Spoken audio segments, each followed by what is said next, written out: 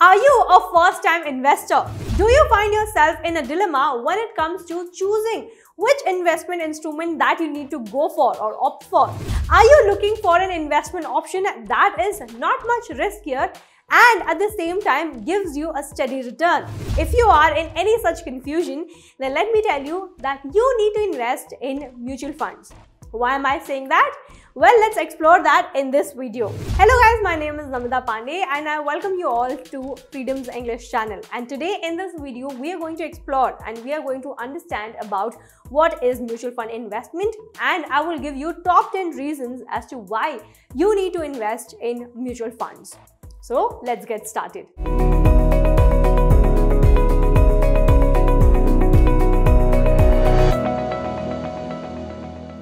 Well, the very first reason I would give you is mutual fund investments comes with liquidity. It offers you liquidity. The most important benefit of investing in mutual fund is that the investor can redeem the units at any point in time. Unlike the fixed deposit investments that if you choose to make, wherein you have to stay invested for at least minimum 5 years, unlike that, mutual funds gives you the flexibility to withdraw or to redeem the money invested. So here mutual funds comes with the flexibility when it comes to withdrawing your invested amount. But here you need to be wary of two factors when you're investing in mutual funds and when you're withdrawing them and that and those are pre-exit penalty and exit load that comes along. Although mutual fund investment gives you this opportunity and gives you this facility to withdraw and to redeem the invested amount at any given point in time, this does not mean that in case if you're investing in mutual funds, this does not mean that within a year you have to withdraw the invested amount. This will come with a lot of consequences such as you might have to pay certain charges and certain fees if you're withdrawing the amount. But if you have any kind of emergencies, you can redeem these amounts. So this is one of the biggest benefit that you get by investing in mutual fund. The second one is diversification. An investor can invest in a few stocks at a time. But on the other hand, if you're investing in say equity funds, then you get to invest in multiple stocks. Equity funds offer diversification in many ways. First, you can invest in several stocks. Second, you can invest in various sectors. And thirdly, you can invest in other asset classes as well. There are a lot of benefits you get by investing in equity funds. Well, as an investor, you can own a share in the equities of the companies across different capitalization as well as pan sectors. Now, by that, I mean you can invest in, say, large cap companies, mid cap companies, or small cap companies, depending on the risk you're ready to take and depending on what is the objective with which you're investing. And when I tell pan sectors. Here you can invest in a lot of sectors, for example, education sector, for example, technology, for example, energy, finance, etc. So here there are a lot of investments that you can make across sectors depending on your interest. So through diversification, let me tell you, you can benefit from the profits of all the companies that you've invested in, as well as you can reduce the risk with the distribution of the funds that you make. So with this comes the next benefit, which is risk management. So owing to diversification, where the funds are equally distributed among all the sectors and the stocks that you're buying of different companies it spreads across and also balances out and also minimizes the risk that you're taking with your investment. So here for an instance if you're investing in one company if you're buying a stock and that stock is underperforming then that might be covered up and it and another stock may pick up. So here you can balance it out similarly if you're say for example if you're investing in one sector say for example if you're investing in say energy sector which is not quite doing well or say construction sector which is not doing well. On the other hand let's say you have also invested in say technology and that sector is really doing well and you and if you have invested in technology sector and you earn profit so here you can balance out. Here you might face loss but on the other hand you might gain a lot of profit. So here there is a balancing of risk that you take with your investment. So here let me tell you that mutual fund investment reduces the stock as well as the sector specific risk to a very great extent because here the investor, you as an investor, you're not only dependent on one single stock or the industry, but rather you're diversifying your investments and thus take the benefits of all. The next benefit is flexibility in investment. Among all the benefits that you get out of investing in mutual funds, one of the most important is its feature of flexibility. Here, let me tell you, the investors did not have to put the huge amount of money to invest or to start investing in mutual funds. For example, let's say today you do not have a lot of money, but you need to invest. So you can choose mutual funds. So here, whatever capacity you have, in whatever amount you can pay, you can start investing in mutual funds. So here, the investment can be made as per the cash flow position that you have currently. So here, for example, if you're withdrawing a monthly salary, then you can opt for SIP, which is systematic investment plan. And every month, a fixed amount will be invested in mutual funds. For example, if I am earning a monthly salary, then let me tell you that I, I have started with a minimum amount of just rupees 500 that I invest every month towards mutual funds. The next biggest reason that you need to invest in mutual fund is wealth creation.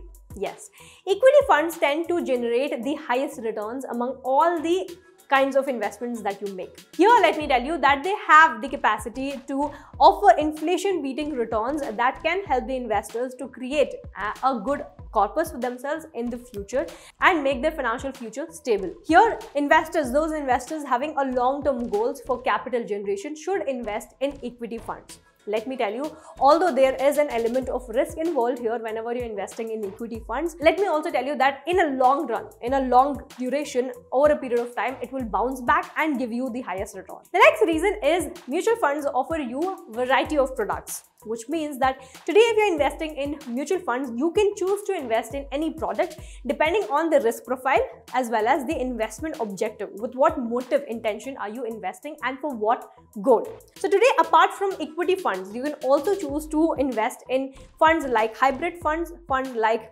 debt funds, also liquid funds, and also the tax saving schemes, etc. So there are so many products of mutual funds alone or assets alone that you can choose to invest in depending on the risk profile, depending on how much of risk are you able to take when it comes to investment.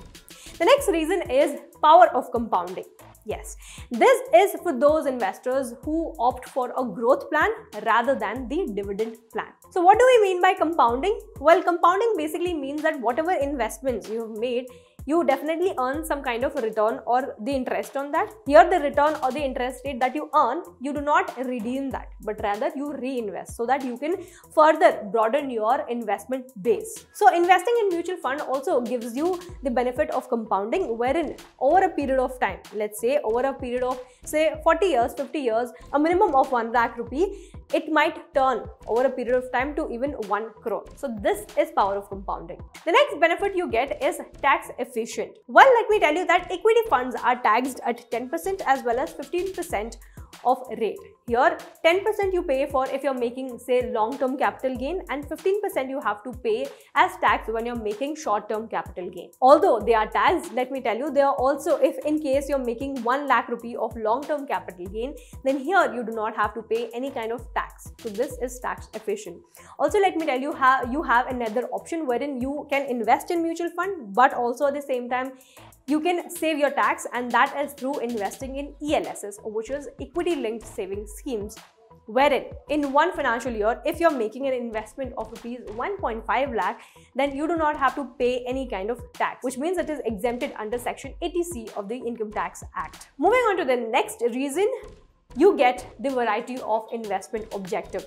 When you're investing in mutual fund you get to meet various types of investment objectives like capital appreciation and also income.